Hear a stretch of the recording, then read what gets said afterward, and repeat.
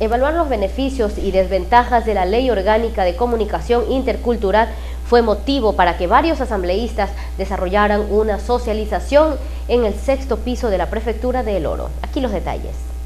Miriam González, vicepresidenta de la Comisión de Educación, Ciencia y Tecnología de la Asamblea Nacional, manifestó que se encuentran evaluando la Ley Orgánica Intercultural misma que está implementada desde el 2011.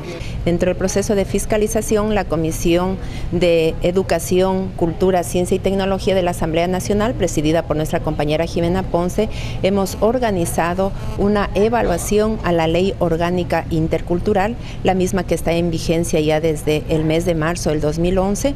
Asimismo, informó qué ha sido lo más relevante dentro de los proyectos que se ha dado en esta comisión. Bueno, las más relevantes es eh, los procesos ya de desconcentración que se están dando en educación con la finalidad de acercar los servicios a territorio. Están naciendo lo que corresponde a distritos, a circuitos educativos. La gente se piensa que falta más acción en territorio, por lo tanto tenemos que trabajar esto con el señor ministro de Educación, con los funcionarios para mejorar la atención.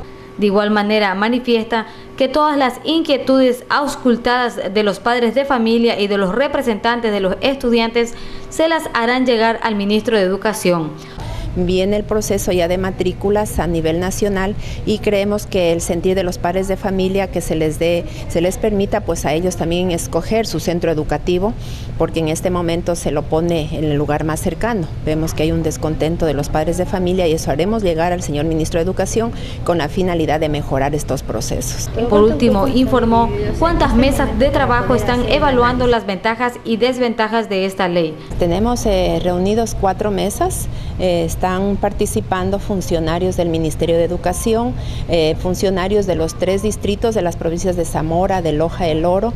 Tenemos una mesa de organizaciones sociales, de padres de familia, de representantes de los estudiantes y también tenemos veduría eh, de organismos muy importantes.